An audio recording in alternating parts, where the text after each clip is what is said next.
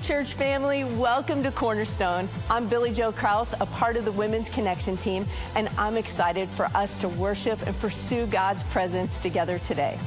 Whether you've been coming for a while or today's your first visit, on campus or online, we're so glad that you're joining us.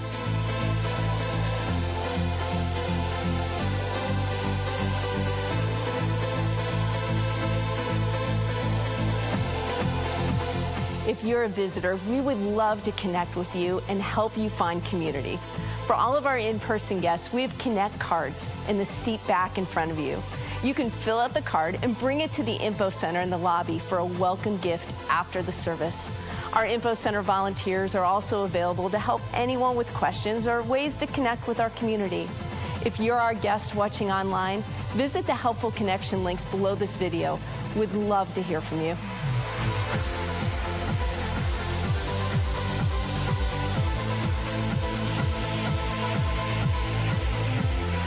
At Cornerstone, we believe in the importance and the power of prayer. Whether it be a request or praise report, we want to come alongside you in speaking directly with God. If you want to pray with the whole church family, we have whiteboards in the hallway where you can write out your prayers. If you need someone to pray over you today, there's a dedicated prayer room with volunteers available to hear your story. Even if you're online, we have a pastor waiting to pray with you in real time or reach out on our website link below. No matter how you share your need, your prayer request will be specifically prayed for and handled confidentially.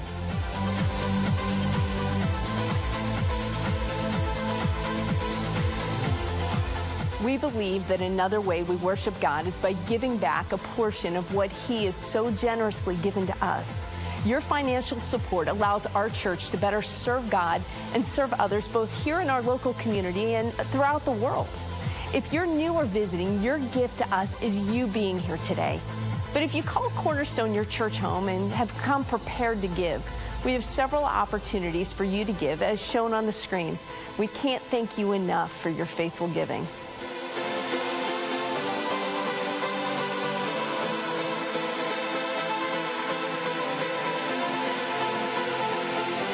As you can see, God is doing awesome things here at Cornerstone. We'd love for you to jump in and be a part of it. Worship is going to begin soon, so take a few seconds to focus your attention on the Lord. Thanks again for being with us today. Hi, church. I don't know about you, but relationships sometimes can be challenging. It's really helped me to understand the way we're wired.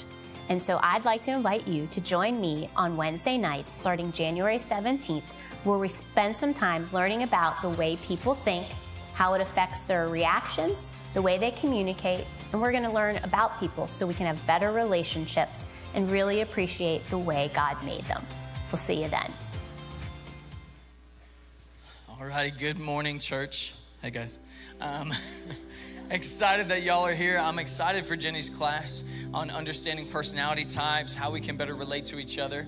Uh, and that's going to be starting next Wednesday night, the 17th, uh, because this coming Wednesday night is the middle of our prayer stations as we're jumping into our prayer series this weekend. And uh, my wife and I were in service last night and uh, it was it was incredible. And, and this morning at the nine o'clock, I heard God was moving, and and I trust that He's got more work to do at the eleven. So I'm excited that you guys are here.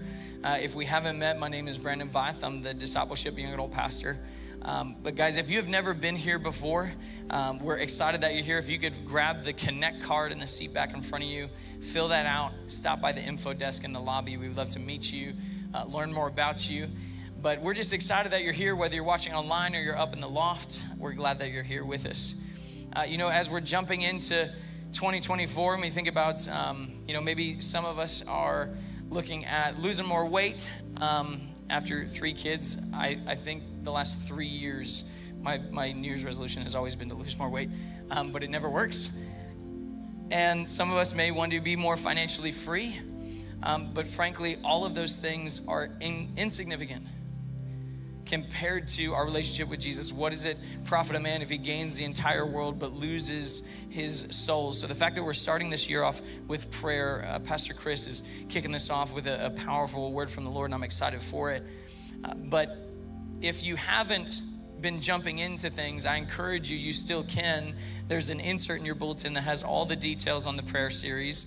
Uh, there's a sign up table out by the, the Africa wall with details on our 24 hours of prayer event.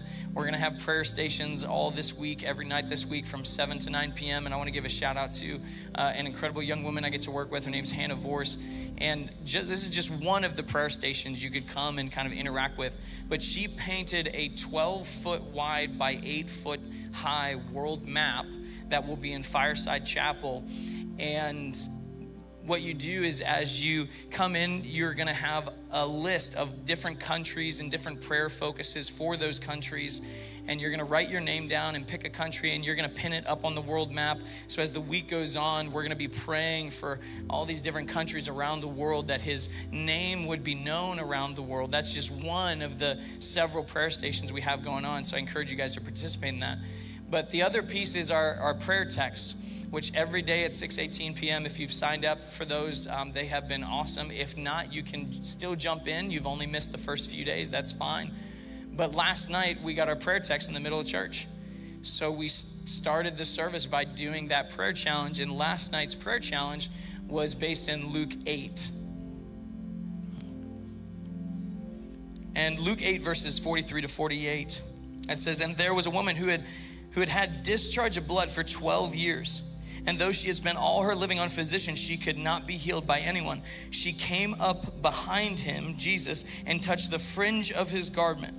And immediately her discharge of blood ceased. And Jesus said, Who was it that touched me? When all denied it, Peter said, Master, the crowd surrounds you and are pressing in on you. But Jesus said, Someone touched me, for I perceived that power had gone out from me.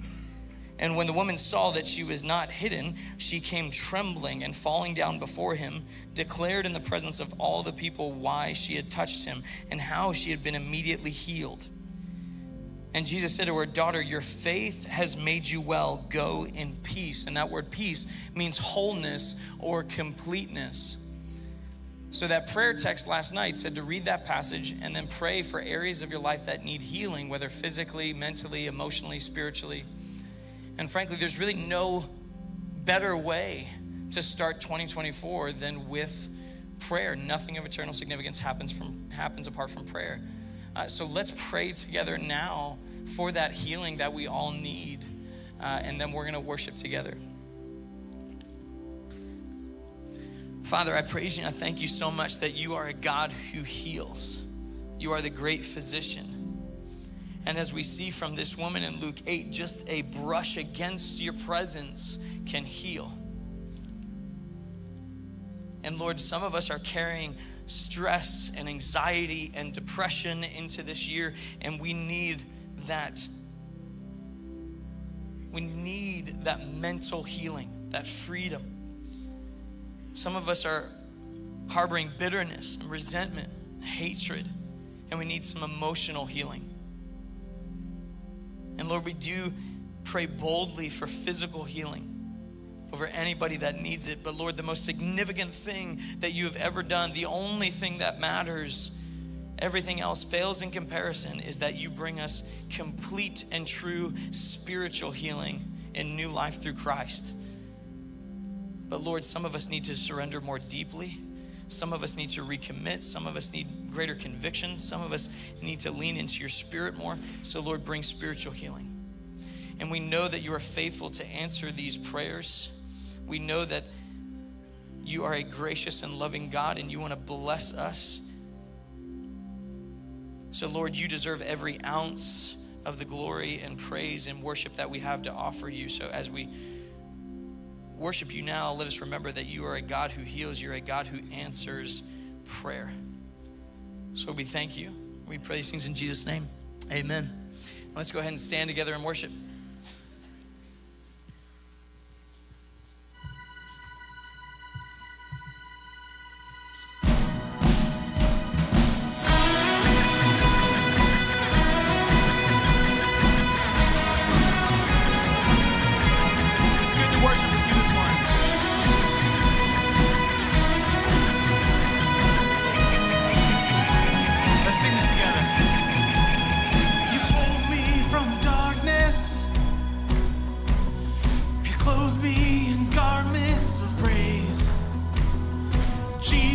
forever. My song will be you. Living in freedom. You've taken my burdens away. Jesus forever. My song will be you. Only for you. From the cross that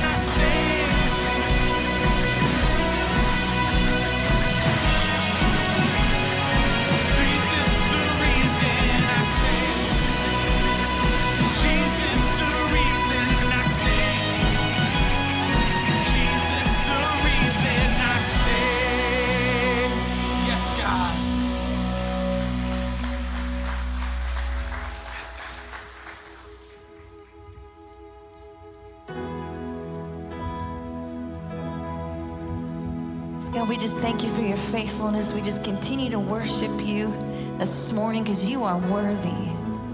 We'll just put all our focus on you.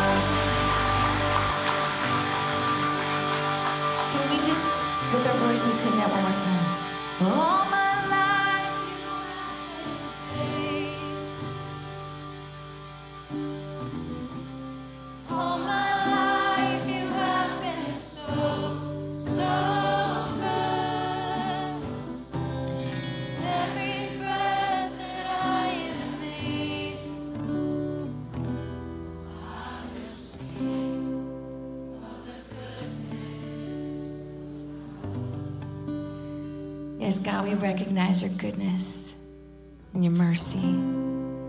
God, we thank you for your faithfulness, that you are steady,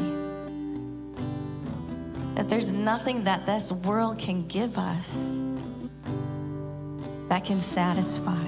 You are the only one that satisfies. Thank you, Jesus. And we just run to you, Father God. We run to you. Thank you, Lord. In Jesus' name we pray. Amen.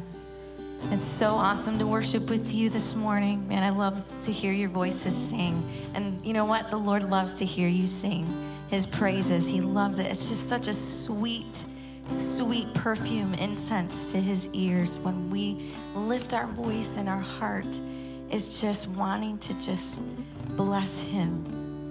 Man, he just loves that. And I love to hear that too. It just makes my heart just soar when I hear you guys sing to the Lord. So, can we just give him praise? God, you are worthy of praise. Hallelujah. Would you turn to someone next to you and just tell him good morning and that say he's worthy of praise? You can be seated.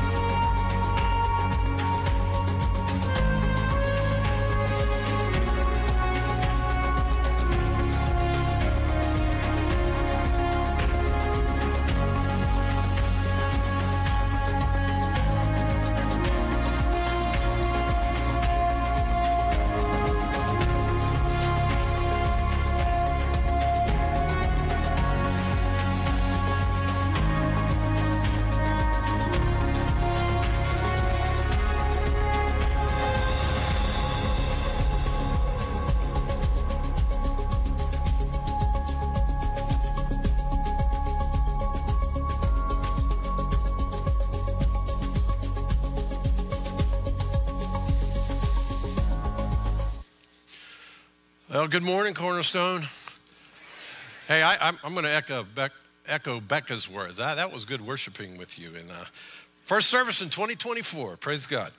Hey, before we get started, I just want to let you know that after Christmas, Pastor Don had his hip replaced. And uh, surgery went well. He's home recuperating. I don't know if he's following doctor's orders, but I know he's following Barb's, so he's in good hands. But, anyways, uh, keep him in prayer, would you? Um, we'll, we'll wish him a speedy recovery. How many of you can believe it's 2024? Where did 2023 go? Man, it time just flies by, doesn't it? Okay, I've been doing a survey every service. How many of you have made New Year's resolutions heading into 2024? Okay. How many of you are going to lose weight? Okay, we got a few honest people out there. Okay, how many of you uh, uh, you got your new 365 day devotionals and you haven't missed one yet? How many of you got your new gym memberships? All right. Um, how many of you know by the middle of February all those resolutions go out the window? Yeah, that's the way it works with me too. Well, today we're beginning a three week series on prayer. And I pray what I share with you today and what we will learn in the next few weeks lasts longer than most of our New Year's resolutions. When I was asked to uh, speak on the subject of prayer, I, I'd already sensed the Lord speaking to me about the practice of prayer in my personal life. So instead of committing to a New Year's resolution in 2024, I sense the urging to commit to a revolution in 2024. Because you know there's quite a difference. You see, a resolution is a, is a firm decision to do or not to do something. But Webster defines a revolution as a sudden, a radical, a complete change or a fundamental change in the way of thinking about or visualizing something. It's a change of paradigm. So, what I will share with you today is an extension of what the Lord has laid on my heart. And I hope that you're challenged the same way that I've been challenged, individually and collectively as a church, considering the time in human history that God has strategically placed us now. And this message is a call to prayer. And that's whether it's a prayer of intercession where we plead with God on behalf of, of others or prayers of petition where we focus on our personal needs. Regardless, it's time to pray. And our intention is to seek God's mercy, God's guidance, God's provision, and God's protection, believing that He hears and that He responds to the heartfelt requests of His people. And so I, I, I pray that some of you will sense the urgency the necessity and the privilege and the honor to pray for the God of all creation to come to the rescue and show himself strong on our behalf. You know, as I looked at my spiritual life and practices, I concluded I don't pray often enough. I don't pray long enough. I don't pray precisely enough. I don't pray intensely enough. And I don't pray persistently enough. But other than that, I was doing pretty good. So the takeaway from all this is, is what I've been doing presently with regard to my prayer life, it is insufficient to face the challenges I will encounter as an individual, as a pastor, and what we will be coming up against collectively as a church. Something needs to change, and that something includes me. Why is this so important now? Well, if we step outside of our world in Murrysville and Delmont and even Cornerstone, where things are going pretty well, you might notice that the state of the world and the culture are full of chaos, confusion, wickedness, and evil. And alarms and warnings should be going off in the hearts and minds of observant believers everywhere. You see, what's taking place in the church, what's taking place in politics and academia and economics, it's not sustainable unless God intervenes. And I believe the psalmist felt this same sense of urgency when he wrote Psalms 119, 126. Look what he said. He said, It's time for the Lord to act, Well, they've broken your law. Now, if we're honest, if we consider the state of the church, it's essentially powerless in many ways. Its influence in shaping the culture is negligent or minimal at best. Once great denominations they reject biblical authority or they preach a watered down gospel, hoping to make it more palatable to the modern culture, and they do so without understanding why they have no power. Instead of sound teaching and doctrine, motivational speaking, wokeism, and the gospel of self help have replaced the authority of the Word of God and the power of the Holy Spirit working in people's lives. And in their deception, they wrongly believe that their enlightened understanding will appeal to the masses and bring them back to the church and bring peace to the chaos these ideologies started in the first place. And then this one contemporary churches and pastors have unhitched themselves from the Old Testament, and they do so in hopes of remaining relevant to the popular culture, ignoring the fact that Jesus clearly tells us in John 5 6. For if you believed in Moses, you would believe in me, for he wrote about me. And then we forget that we're told to come out of the world and be separate, forgetting that holiness has everything to do with separateness from the world system and the world ways of thinking, not play in it. This, this double mindedness, it's, it's soundly condemned in the book of James which tells us you can't walk with one foot in, in the kingdom of God and one foot in the world. This creates lukewarmness. It's not a commendable trait. And we are told, as the church of Laodicea, not good. Jesus said, I will spew you out of my mouth. And then consider the nation of Israel, God's chosen people, the people from whom our Messiah came and will come again, praise God. It's currently surrounded by hostile enemies and nations. Enemies that want them eliminated, annihilated, and removed from the face of the earth. But in their demonic zeal, they seem to forget these previous attempts at destruction of the Jews. It didn't work with Pharaoh. It didn't work with Haman. It didn't work with Hitler. And it won't work with Hamas and Hezbollah. Why? Because God is faithful to the covenant promises that He makes with His people. Amen? And if, yeah, amen. And if He's not faithful to them, then why in the world would we think He'd be faithful to us? But that's not the case. He is. Then look at our once great academic institutions Harvard, Yale, and Princeton. These, these origins of these schools are of the gospel. Did you know that? Did, they used to- did you know they used to train ministers and clergy? Well, they've been totally secularized. How pathetic. College campuses, they have become breeding grounds for anti Semitism. Our public school systems have banned prayer from the classrooms, and they seek to propagandize our children in the ways of humanism and secular ideologies. And our great government institutions, the White House, the Congress, and the Supreme Court, they're dominated by secular and liberal thinking. How many of you think it's time for God to act? How many of you think it's time for God to move?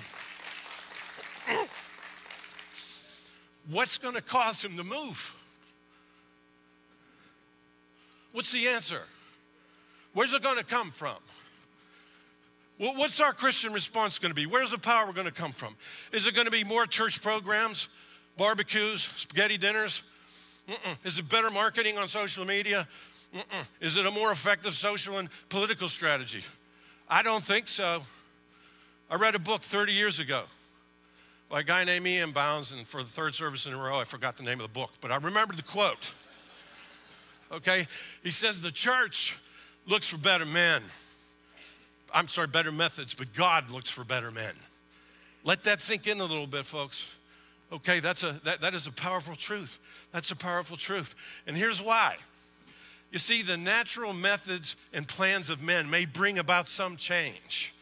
They may have some value in giving symptom relief in, in some situation, but the best and most brilliant efforts of men can easily miss methods God has chosen for his will to be done. And I'm going to give you a biblical example highlighting a tremendous contrast. King Asa was a king who reigned in Judah for 41 years, some 900 years before Jesus. And he, he was a fantastic king. He was known as one who did what was right in the eyes of the Lord.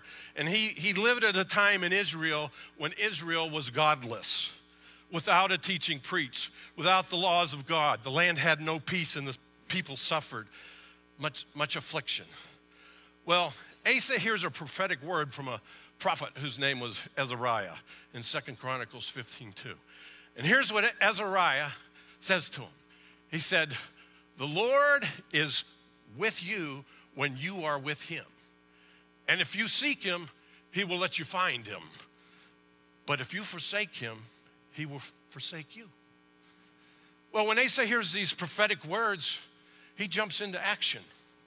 He starts removing all the idols from Judah and Benjamin and the surrounding cities. He, he restores the altar uh, of, of the Lord and, and the worship of the one true God. He got the people to enter into a covenant to seek the Lord with their whole hearts. And as a result, the Lord brought peace, rest, prosperity, and favor to that nation. Well, a million man army of Ethiopians decides to do battle with Judah. And Judah was outnumbered two to one. So, Asa's no dummy. We're toast unless God intervenes here. He starts crying out to God, and God hears his cry for help. And the Ethiopian army is totally defeated, wiped out, and plundered. And God's name is exalted, and Asa and Judah prosper as a result. That's good. Well, in the 36th year of Asa's reign, King Baasha of the northern kingdom of Israel wasn't happy with what was happening in Judah. You see, when the people of his kingdom heard about the Lord's favor and the Lord's blessing in Judah, they were moving to, from the northern kingdom down to Judah. Just like Californians are moving to Arizona and New Yorkers are moving to Florida. It's the same deal, okay? King Baasha wasn't happy about all his taxpayers leaving his country either. So he decides to set up some blockades to prevent his citizens from emigrating to Judah. Well, King Asa comes up with a brilliant political solution. He makes a treaty And he signs a deal with the king of Aram to remove the king of Baasha from his blockades for some silver and gold that Asa got from the treasury and some of his own stash. Well, King Asa's plan worked. Baasha was removed from the blockades without any bloodshed from Asa's people and at a minimal cost. So I envision King Asa sitting in the boardroom with his advisors, smoking cigars, feet up on the desk, patting each other on the back. Now, I just made that part up, but you get what I'm trying to say here, okay? Yeah, so while they're in there, you know, giving each other high fives, this prophet walks into the room. This prophet Hananiah, he goes, You have acted foolishly because you relied on the king of Aram instead of the Lord. You could have had the king of Aram's army in your hands. And, he, and you can imagine what Asa felt being rebuked publicly like that.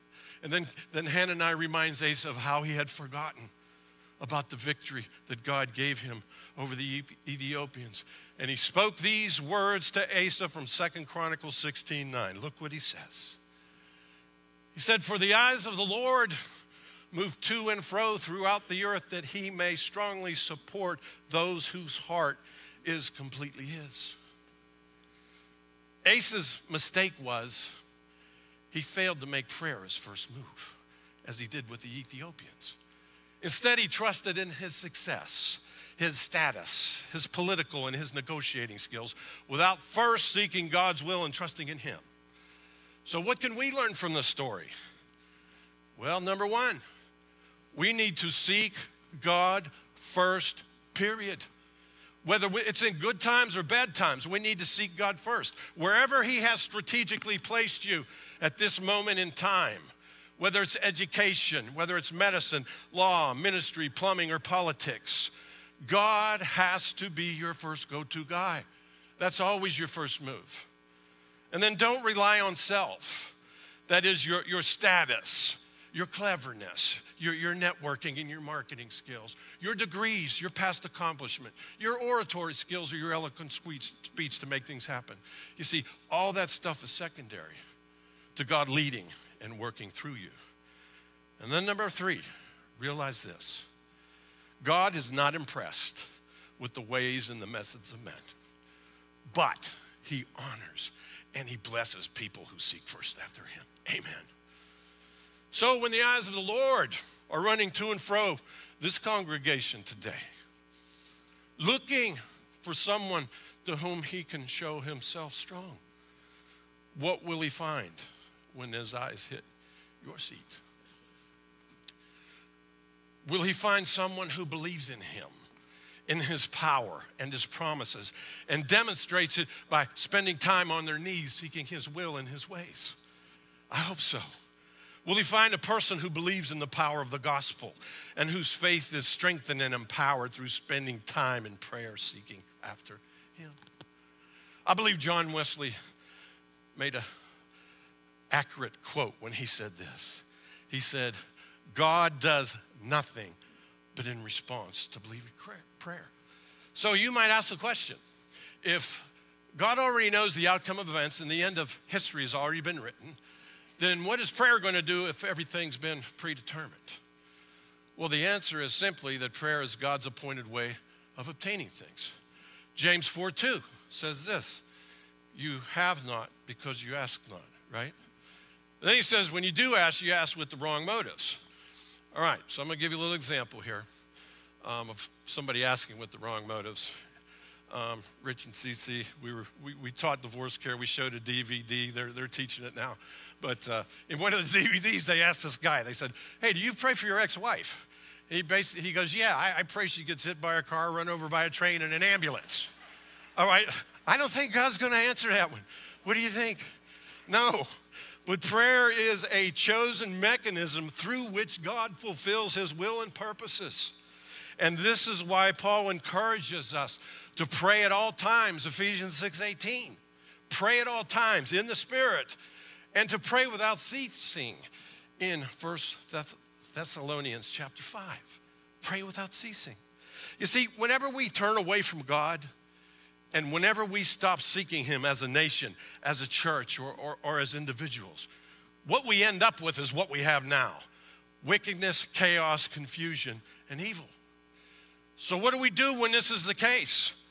What, what other clues, what directions, what, what instruction has God given us in His Word that teaches us about petitioning the Lord in times like these? I want you to listen to what God told King Solomon after he'd built and dedicated the glorious temple to the Lord. The Lord spoke to Solomon in response to prayer, and the Lord told Solomon if judgment were ever sent by God upon his people because they reject or neglect his laws and commands, God would relent if they would do this. You've probably heard this, Second Chronicles 7:14. Famous passage. If my people who are called by my name will humble themselves and pray and seek my face and turn from their wicked ways, then I will hear from heaven, I will forgive their sin, and I will heal their land. Well, in this passage, God is clearly addressing the nation of Israel. But I think there are elements and principles pointed out in God's directive here that still apply to all of God's covenant people in 2024. And that includes me, and that includes you. People called by God's name are people in relationship with Him, and they are identified by God's character, God's nature, and God's essence. It means that we, we are His. And if Jehovah is your God and Jesus is your Messiah, then you are one of God's people because you've been adopted into God's family. And what God was telling his people at that time was that relief from judgment would come when his redeemed, his chosen, his beloved, his called, his family would do these four things. Number one, they would humble themselves. Number two, they would pray. Number three, they would seek his face. And number four, they would turn from their wicked ways. So God says if we would humble, pray, seek, and turn, God would hear, forgive, and heal. In other words, God says that He would respond to our actions. There are things that we can do that cause God to move. And I am sure these principles are timeless and still in effect and applicable today. Well, what do we need to do that causes God to move? Well, we need to humble ourselves. The, the Hebrew word for humble means to bend the knee, it means to be subject to, or it means to be placed under. And one of the components of answered prayer has to be our attitude in submitting to God's authority. God is our king and we are his subjects. So let's ask ourselves, let's be honest. Do our actions and behavior reflect a heart that's submitted to God's ways and authority? Or is it the other way around? Do God's ways bend its knee to ours? You know, humility or subjecting to God's authority is a requirement and an element of answered prayer. And then once we've bowed down to our King with an attitude of submission in our heart, mind, and behavior, we're instructed to pray. I mean, you know, the prayer is a form of worship. Yeah, it is. True prayer comes from a heart of dependency on God. It's not lip service, it's not merely repeating words and phrases. Prayer is heartfelt communion with God and an attitude that seeks His will to be done in your life. Prayer is another essential element in establishing a relationship with God and receiving His mercy, His blessing, and His healing. And Ephesians 6 tells us that prayer and the Word of God are two weapons that we have at our disposal. So I say, let's learn to use them lightly, lightly, uh, wisely. I'm sorry. And here's the great part prayer doesn't require internet, it doesn't require cell phone service, it doesn't require uh, Wi Fi. You don't have to worry about your call being dropped on the way home from church, okay? God will instantly hear you, and here's why because of the shed blood of Christ. We can be instantly present in the throne room of God because Hebrews 4:16 tells us this. Therefore, let us draw near with confidence to the throne of grace so that we may receive mercy and find grace to help in time of need. So, whenever we pray, God responds. When we ask, God moves. And this is the bottom line the prayers of God's people clearly affect how God acts. And if we were genuinely convinced that God brings about remarkable changes through our prayers, then we would pray much more than we do. And sadly, many who pray very little likely do so because they don't believe prayer accomplishes much. And then God also asks that we seek his face. And if you're like me, I guess most of us are pretty good at seeking God's hands. That is what He can provide for us and do to meet our needs, but that's not what's being asked of us here. God wants us to seek His face. And this expression conveys the idea of seeking a close and an intimate relationship with God. And in the context of biblical language and imagery, the face of God represents his favor, represents his presence, and the essence of who he is.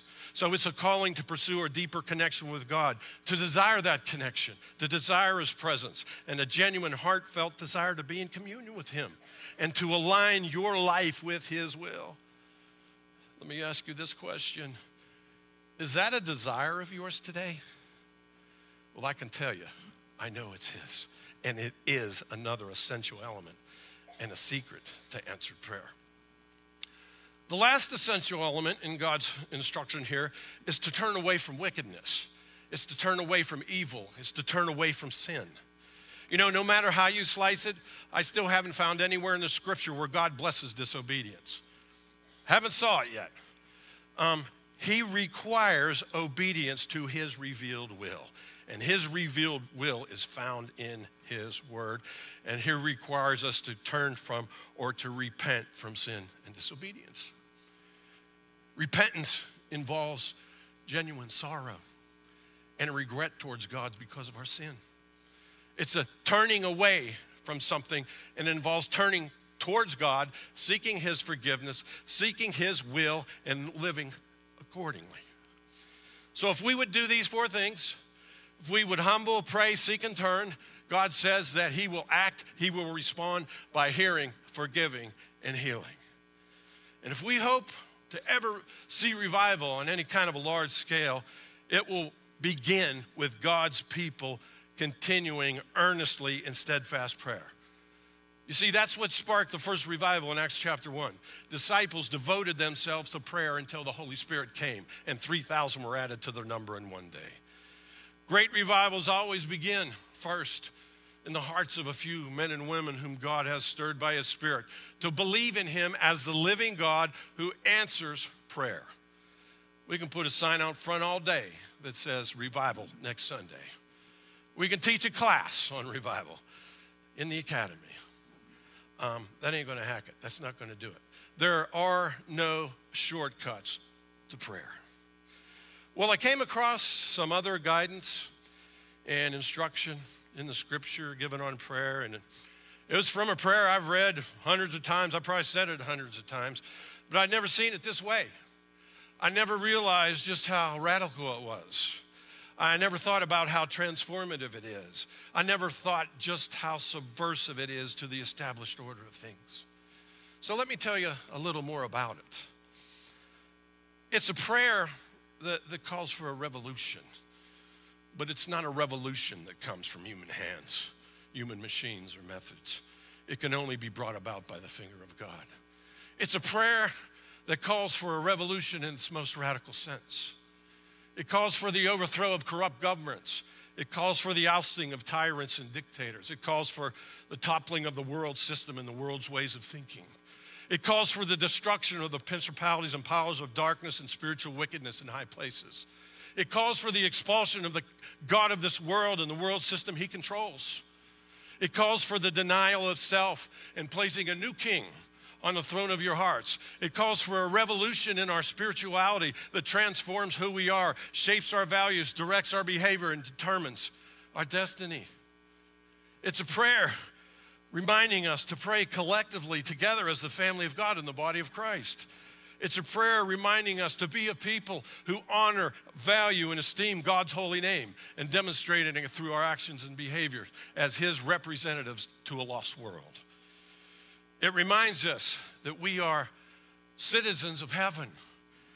And until God's kingdom is fully established on earth, we are to pray for its complete realization, expression, and visible manifestation.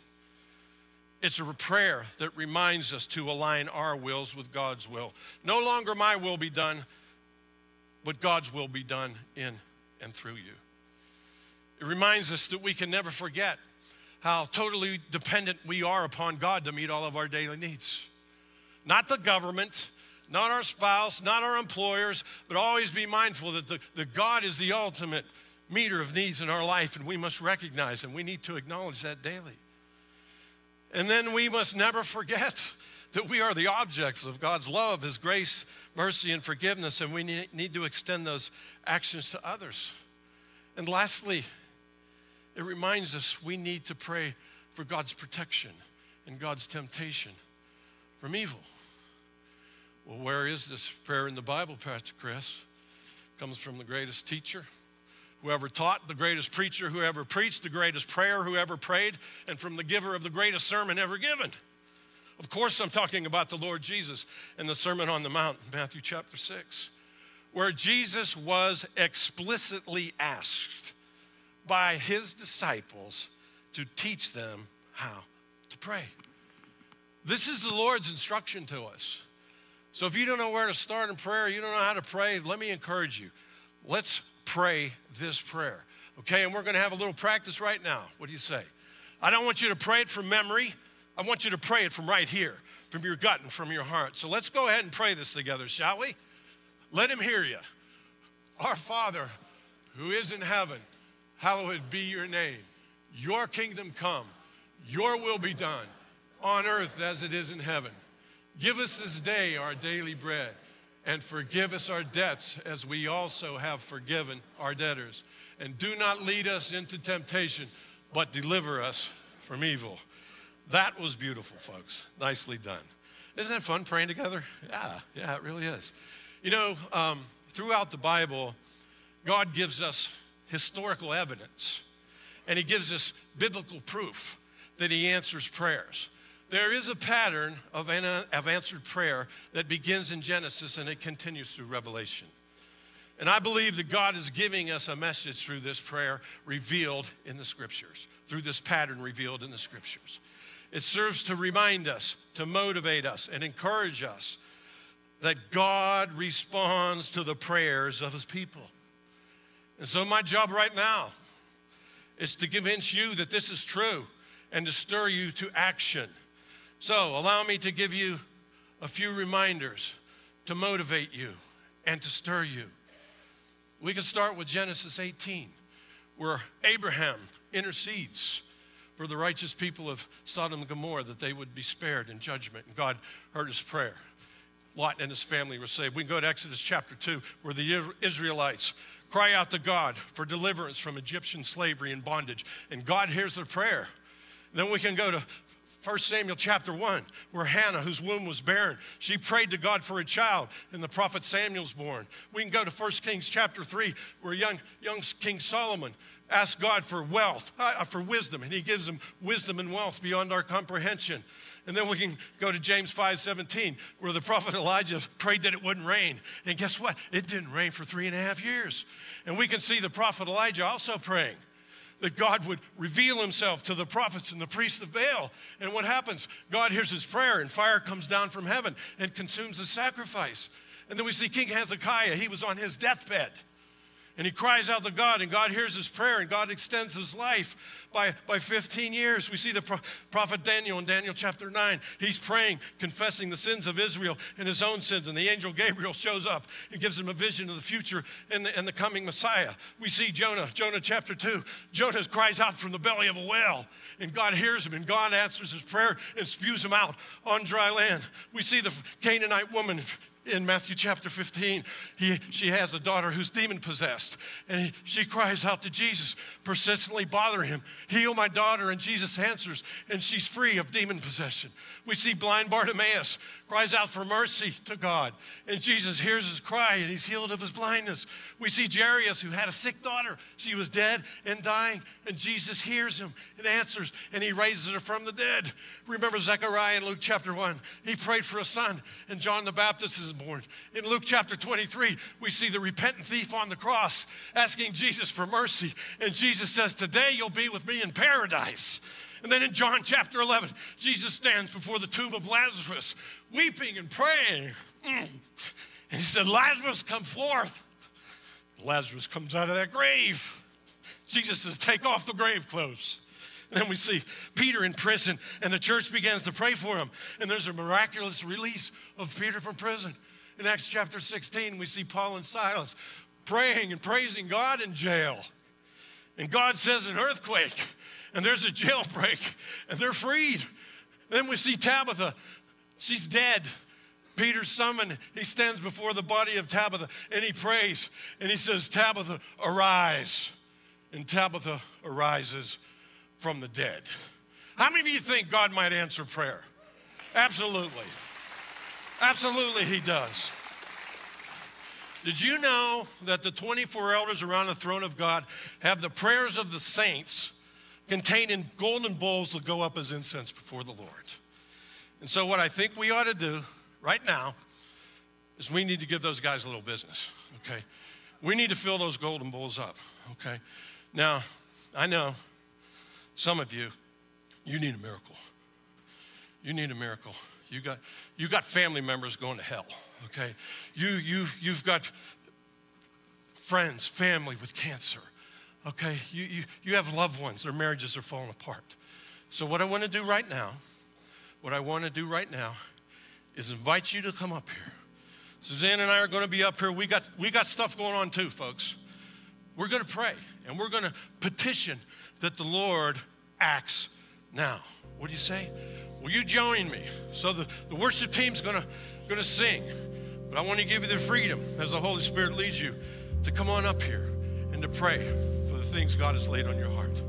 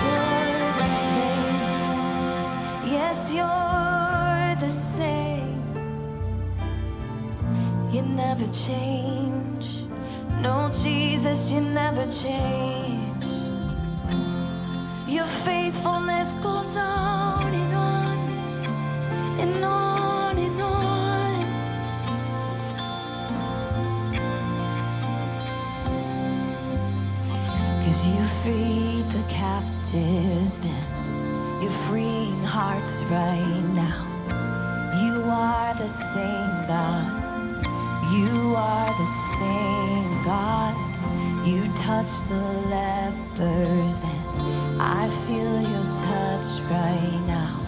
You are the same God. You are the same.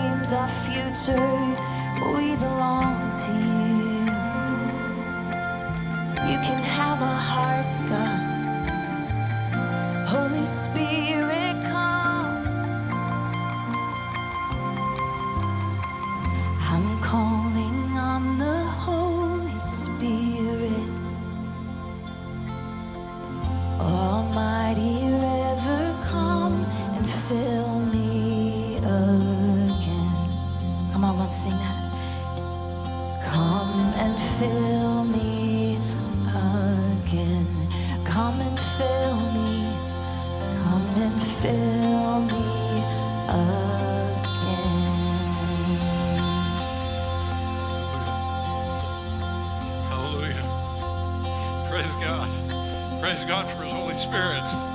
And I praise God moves and all these people who came forward. I think those elders got a little action. And I know God heard them. And God will respond in His time. And I pray that you are filled with God's Holy Spirit today. James 5.18 tells us not to be drunk with wine, but be filled with the Spirit of God. And so I pray today that you are moved, that you are touched, that you are filled. And I also pray that God's kingdom comes today in your life and his perfect will be done as you submit to his ways. It's God's day. In his son's name we all pray. Amen. Amen. God bless you all. Have a great week.